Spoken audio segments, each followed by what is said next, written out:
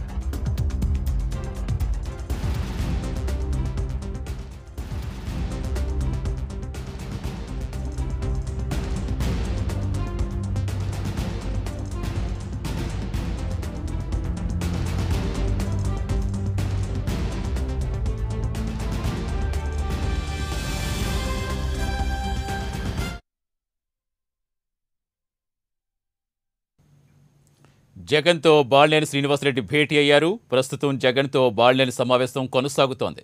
మంత్రి పదవి రాకపోవడంతో బాలినేని తీవ్ర అలకపోనారు. ఇప్పటికే బాలినేని మూడు సార్లు కలిసిన సజ్జల బుజ్జగించే ప్రయత్నాలు చేసిన విషయం తెలిసిందే.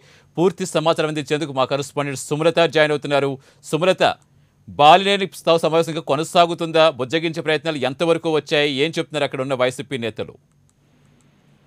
ఓకే ఆ, ఇక్కడ చూసినట్టయితే సీఎం ఆఫీస్లో ముందు ఆ, జగన్మోహన్ రెడ్డిని అయితే బాలినేని అలాగే సజ్జల రామకృష్ణ శ్రీకాంత్ రెడ్డి అయితే వీరందరూ అయితే భేటీ అయ్యారు. ఇప్పటికే పదవి ఆశించిన విధంగా పదవి రాకపోవడంతో ఆయన అలక వహించడంతో కూడా రెండు దఫాలుగా కూడా కలిశారు. కానీ కలిసినా కానీ బాలినేని శ్రీనివాస్ రెడ్డి అయితే అలక తీరకపోవడంతో ఈ రోజు సీఎం జగన్మోహన్ రెడ్డి వచ్చి క్యాంప్ ఆఫీస్లో అయితే వచ్చి కలవాలంటూ కూడా ఆదేశాలు జారీ చేయగానే వెను వెంటనే ఆ, బాలినేని శ్రీనివాస్ రెడ్డి కూడా సీఎం జగన్మోహన్ రెడ్డి అయితే కలిశారు. లోపల ఈ ముగ్గురు అయితే భేటీ అయి మాట్లాడుకున్న తర్వాత ఏంటి అన్నది అయితే మనకైతే తెలియాల్సి ఉంది. దీనికి సంబంధించి కూడా ఆ మంత్రులకి సంబంధించి కూడా ఏమైనా మార్పులు చేర్పులు జరిగే అవకాశం ఏమైనా ఉందా అని ముందనుకున్నాం. కానీ ఇప్పటికి సంబంధించి కూడా శాఖలను కూడా అయితే డిసైడ్ చేయడంతో శాఖలు ఎవరెవరు మంత్రులకు ఏ శాఖ ఇస్తున్నది కూడా మనకు తెలిసి తెలిసేసరికి తెలియటంతో ఇప్పుడు అతనికి మరి ఎలాంటి పోస్ట్ ఇస్తారు ఏంటన్నది అయితే ఉత్కంఠంగా అయితే వేచి చూడాలి. కేబినెట్ హోదాలో ఉండే విధంగా అయితే పోస్ట్ ఇచ్చే అవకాశం ఉంటుందా ఏంటన్నది అయితే మనం వేచి చూడాలి. ఇంకా మరి కొద్ది సేపట్లో అయితే బయటకు రానున్నారు కాబట్టి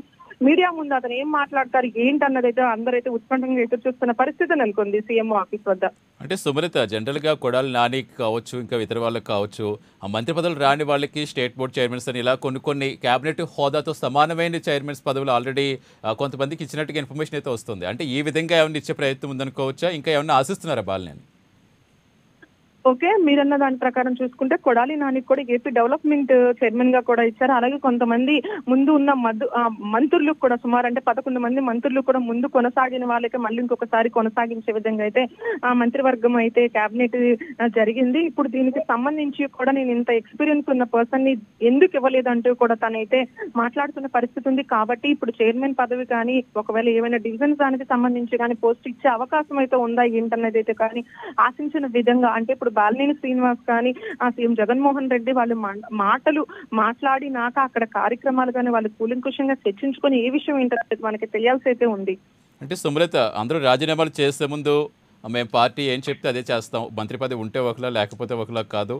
మేము రాజీనామాలు అయితే మనస్ఫూర్తిగా సమర్పించాం. ఇస్తే కనుక చేస్తారు అదే పార్టీలో విధేయులుగా ఉంటామని చెప్పుకుంటూ వచ్చారు. బట్ ఎందుకు ఇప్పుడు ఇంత ఇష్యూ చేస్తున్నారు అనుకోవాలి జనరల్గా వాళ్ళలో వాళ్ళు? ఓకే జగన్మోహన్ రెడ్డి పదవి తీసుకున్నాక జగన్మోహన్ రెడ్డి ముఖ్యమంత్రి అయినాక కూడా ముందే చెప్పారు రెండున్నర సంవత్సరాల వరకు అయితే మంత్రులు ఉంటారు వారి తర్వాత ఇంకొక మంత్రులు అయితే అవకాశం ఇస్తానంటూ కూడా చెప్పారు. కానీ వారికి ఆశించిన విధంగా వాళ్ళు నాకు మళ్ళీ ఇంకొకసారి పదవి వచ్చే అవకాశం ఉందంటూ కూడా వాళ్ళు అయితే ఆశించారు. కానీ ఆశించిన విధంగా పదవులు రాకపోవడంతో వాళ్ళైతే కొంచెం అసంతృప్తిని అయితే నెలకొంది. దానికి అసంతృప్తి నెలకొనే విధంగా కూడా కొంతమంది అయితే నిరసనలు కార్యకర్తలు అయితే ఆ నిరసనలు అయితే వ్యక్తం చేశారు. దానికి సంబంధించి ఇప్పుడు హోమ్ మినిస్టర్ సుచరిత కానీ రాజీనామా అయితే చేసిందని అంటున్నారు. అన్నిటి అన్నిటికన్నా ముఖ్యం ఏంటంటే సి- ఆ, ఆ, ఆదిమూలపు సురేష్ను తీసుకోవడంతో అతను నొచ్చుకున్నట్టు కూడా అయితే ఆ వైసీపీ వర్గాలు అయితే కానీ సజ్జలకి సంబంధించి శ్రీకాంత్ రెడ్డి కానీ కానీ వాళ్ళైతే దీనికి సంబంధించి ఆదిమూలపు సురేష్ను తీసుకోవటం వల్ల ఆయన ఒక అలక పాటించారా? లేకపోతే దానికి బుజ్జగించే విధంగా చేస్తున్నారనేది తెలుస్తుంది. ఇప్పటికే కొంతమందికి అయితే కృష్ణా జిల్లాకి సంబంధించి కూడా పెడన నియోజకవర్గం నుంచి జోగి రమేష్ అతనికి కూడా గృహ నిర్మాణ శాఖను అయితే ఇచ్చారు.